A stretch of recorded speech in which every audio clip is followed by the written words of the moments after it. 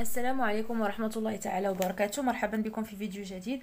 اليوم إن شاء الله غادي نجاوب على الصفحة 102 103 إذا الشكل والتطبيقات الكتابية. مرجع مرشدي في اللغة العربية للسنة الخامسة من التعليم الابتدائي طبعة جديدة ومحينة. غادي نبداو بقراءة النص ثم الإجابة عن الأسئلة.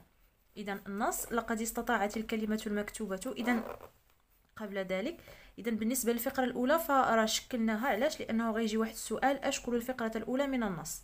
اذا آه، فوالا الشكل. اذا لقد استطاعت الكلمة المكتوبة أن تقهر الزمن قهرا.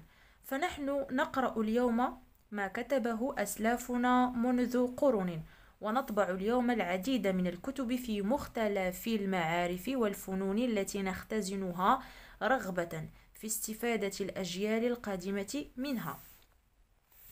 وتبين بعد ذلك أن طباعة ملايين الكتب ونشرها لا يحل مشكلة تخزين المعرفة واسترجاعها بالسهولة اللازمة.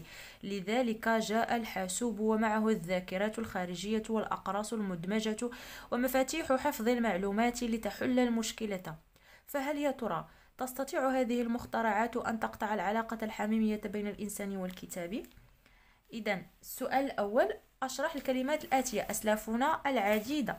إذا أسلافنا نقصد بها أجدادنا العديد يعني الكثير. الأجداد إذا السلف هما يعني الأجداد ثم العديد الكثير. السؤال الثاني آتي بخريطة كل كلمة مما يأتي. القادمة السهولة تستطيع. إذا أنا هنا أعطيتكم الضد ديالها. إذا القادمة يعني المقبلة. إذا إلا بنا نديرو المرادف ديالها المقبلة ولكن الضد ديالها السابقة. إذا هذه الكلمات كلهم عبارة عن أسماء.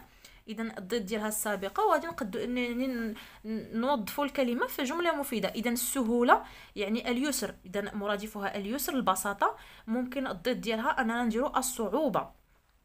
تستطيع يعني المرادف ديالها آه وضدها تستحيل. اذا القادمة هنا ممكن نديرو القادمة يعني المقبلة المرادف ديالها المقبلة. اذا المرادف ديالها المقبلة الضد ديالها السابقة. السهولة يعني القدرة والاستطاعة اذا القدرة الاستطاعه السهوله اليسر اليسر إلى آخره ثم الضد ديالها الصعوبة. تستطيع هنا ضدها تستحيل لكن المرادف ديالها اذا تقدر تقدر على اذا آه هادو هما يعني المرادفات ديال هاد الكلمات والاضداد ديالهم. أقترح عنوان للنص القراءة عبر الزمن.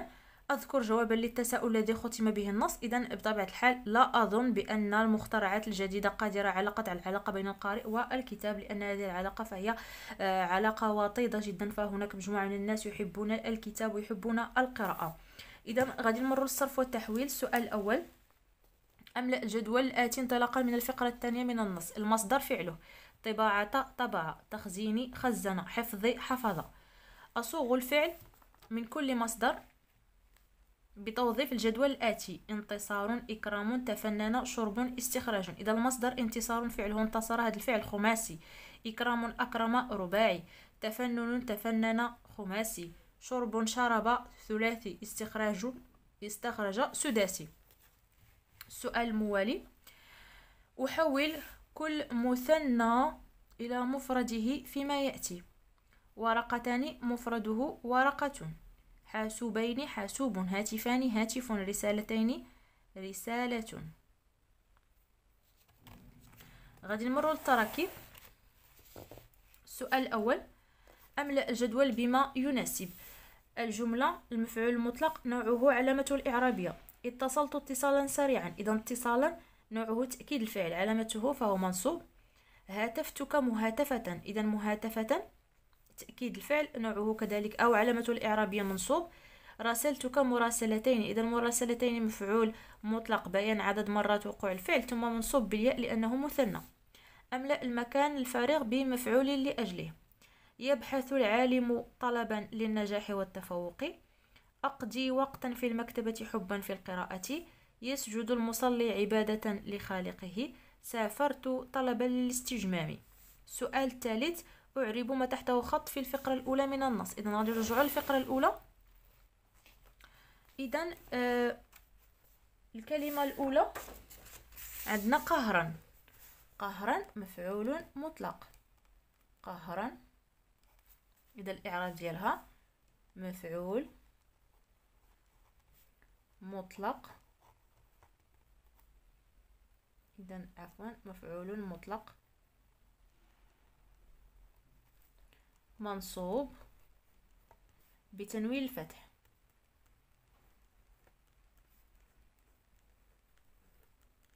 عندنا كذلك رغبة مفعول لأجله.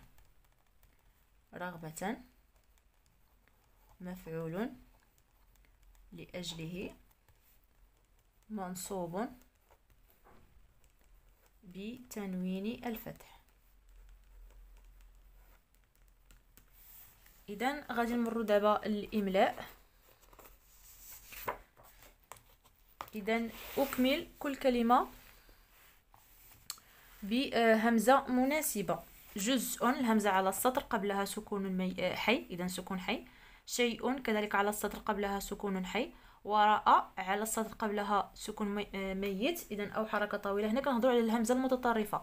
هدوء قبلها سكون الميت كذلك. بدأ هنا على الألف لماذا قبلها فتح؟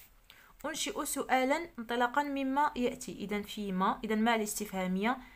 مما بما عما. إذا فيما تفيدك الإنترنت؟ مما يتكون الحاسوب؟ بما تفيدك هذه المعلومات؟ عما تبحث في هذا الموقع. اذا هادو هما الأجوبة الخاصة بهذا السؤال اللي كنستعملوا فيه ما الاستفهامية بالإضافة إلى الحروف في من بي ثم عن. إذا إلى هنا ينتهي هذا الفيديو. موعدنا سيتجدد إن شاء الله مع تتمة الدروس الخاصة بهذا المرجع. دائما على نفس القناة. إلى اللقاء.